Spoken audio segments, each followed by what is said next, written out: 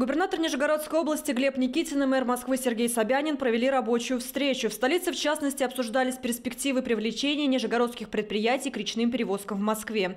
Как отметил Глеб Никитин, Мосгортранс сейчас готовит конкурс на разработку проекта и поставку речных судов для обеспечения пассажирских перевозок. Губернатор предложил в качестве исполнителя проекта нижегородское предприятие «Окская судоверфь». Предприятие уже разработало концепт проекта речного пассажирского судна, так называемого речного автобуса, рассказал Глеб Никитин.